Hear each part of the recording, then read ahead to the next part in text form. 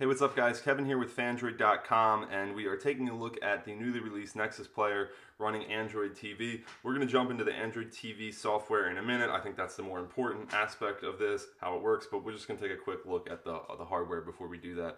Out of the box, you get two things. You get the actual Nexus player device. It's this hockey puck looking thing. Everyone has kind of referred to it as a as a, a hockey puck. It's actually bigger than a hockey puck, a little bit flatter maybe, um, but definitely wider. Um, so it's not that small, but it's pretty small and definitely puck shaped.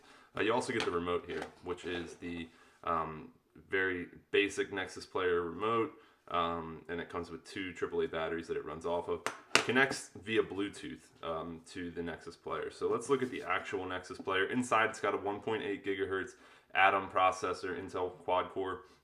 Um, it's got uh, um, pretty good graphic support along with that, but what it what it lacks is it only has one gigabyte of RAM. So um, you think the Amazon Fire TV I think has two gigabytes. There's some uh, other players that might have a little bit more, but definitely serviceable power in terms of graphic and, graphics and processing power. And as we'll see in a second, it does do a pretty good job with games and and content. And there's really no hiccups on the software side because of the power. Uh, the only other thing to really know about this is on the bottom side we have our ports. There is the power jack input, uh, micro USB port, and an HDMI in. No HDMI out, so it's not a pass-through device. It doesn't have any audio out, no digital audio out, so can't really connect it to your home entertainment system.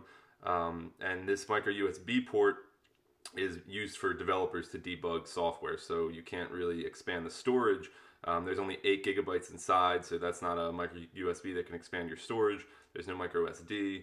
Um, you can't even really use this port to sideload apps um, right out of the box. So uh, it's pretty limited in terms of connectivity. No Ethernet port, so it's all Wi-Fi. It does have Bluetooth. That's actually how it connects to the remote. There's a button here. This is the Bluetooth pairing button. You can use that to pair to the remote or the optional gamepad. So that's that. Then we have the actual remote. Very simple.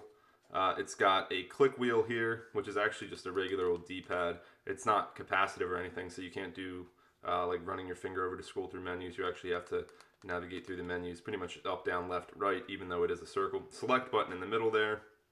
Uh, and then we have our Android back and home buttons and a play pause button. And the coolest feature, I think, which is the voice input button. You just hit this microphone button right there, uh, and it will trigger the Nexus player to wait for your voice command and you can speak whatever voice commands. Again, we'll look at that in the software side of things. So that's what you get out of the box. Again, very basic, very simple. Um, well, you also get the power charger too, so there is one more thing. But aside from that, um, this is what's out of the box. Takes about three minutes to set up on your TV, not including the software side of things. Um, Works really well. There's not much to say about the build quality of this. It's actually nice that it's Bluetooth. You can kind of just tuck this away, hide it. It doesn't have to be out in plain sight because there's no IR blasters linking them together. The remote does feel a bit cheap, very lightweight. The plastic's a little bit cheap feeling, but the buttons are pretty responsive and clicky, so um, it's it's pretty good overall. Um, we actually kind of prefer using the, the gamepad for navigating the menus. Um, but you'll see that in our full review. So that's uh, a look at the hardware out of the box. Now let's jump over and take a look at the software side of things, the Android TV uh, platform running on Nexus Player. All right, so right now we're looking at the basic interface for the Nexus Player. This is the Android TV interface. As you can see, it's a simplified television experience over what we had with Google TV. Um, it's basically all based off of this main menu that we're looking at. Um, we can see our recently watched and recommended content up top here.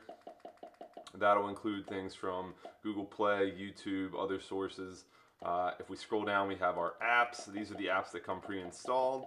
Uh, and we'll jump into Google Play and, and, look at that in a bit. But then here, you have your games too. These are some of the games that uh, we've downloaded onto the Nexus player. So yeah, if we jump right into the Google Play Store, we can kind of take a look at what's immediately available for download.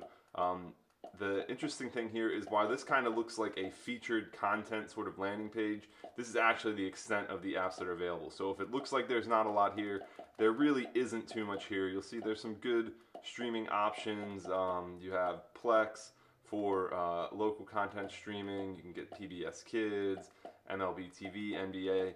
Uh, some things that are notably absent, however, are HBO Go. There's no Watch ESPN.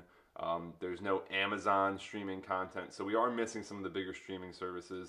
Those can be addressed with Google Cast uh, in some cases with the Chromecast-like functionality, but they are limited. We're missing some of the bigger music apps like Spotify, but again, you have uh, some to choose from like Pandora, which is a pretty popular. Um, the nice thing is they have the games divided up by remote games, games for the gamepad, so you can kind of see all these. Again, not a ton of games out the gate. Uh, we are pretty pleased with the games they have. Actually, if we go back to the main menu, we can jump in here to some of these games that utilize the remote um, without the gamepad and just kind of check out some of the gaming experience. So this is loading. This is going to be Skyforce, uh, an updated version of a classic game from uh, this is like the 10th year anniversary. So uh, this, this is a pretty good example of some of the more Mission simplified begins. gameplay.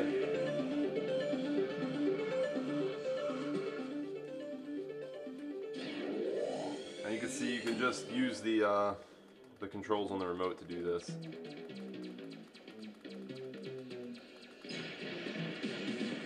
Weapon upgrade. Alright, so anyway, that's a look at, playing a little bit of how gaming works out on here. Um, and all the menus pretty much are very similar um, to that Google Play menu if we jump into the Google Play library, your music. We also have voice search on here, which is really cool. We can ask a question like, just tap the button, how old is Barack Obama? Let's try that again. How old is Barack Obama? He is 53 years old.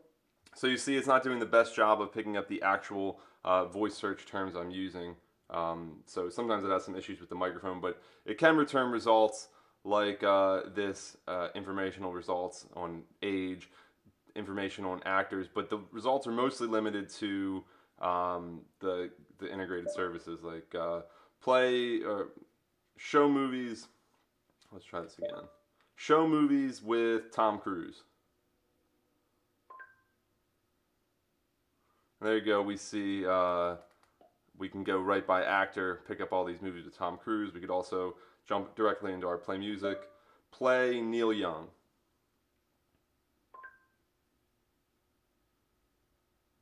And this will jump us right into play music. Uh, and sometimes it's kind of wonky. Sometimes it'll actually start playing the music, but here uh, it's not playing immediately. Uh, so that's a basic look around the interface. Uh, we can jump into the settings and see some other things such as Google Cast, uh, which allows you to cast from your phone um, directly to your television. We can see some of these other settings on here, but uh, nothing too crazy going on. Otherwise, very simple, very easy to get into. Once you jumped in and start playing, you're kind of right in there. Installation is a breeze. It takes less than three minutes to get the box set up. Then you just have to download some software updates, uh, and you're right into the action. And obviously, you can see how easy it is to jump right into your content that you already have downloaded, or to find and download new content um, through some of these other services. So that's a quick look at the interface for Nexus Player. This is Android TV, remember. So Android TV is going to be on other devices. It's going to have a same similar experience with this Android 5.0 Lollipop base. So um, this is basically what you get when uh, you jump right in. Again, kind of limited in terms of app selection and also content selection from certain services that aren't included. But what is here is created in, in a way that works really nice for the TV format. The games play great. Uh, watching movies, jumping into a movie, streaming a movie works really well. The Google Cast options work super well. Uh, voice search is also serviceable, pretty good at um, navigating uh, uh, using the remote without having to type in your search terms because that can be kind of difficult. So we're impressed. There's still some room for improvement, but um, out of the box, it's a good start. But we're hoping Google puts a little more work into getting again those services and um, the content kind of built up for this ecosystem. Uh, but that is a quick look at the software and a review of the Nexus Player. Please check out Phandroid.com for our full review. Um, and thanks for watching.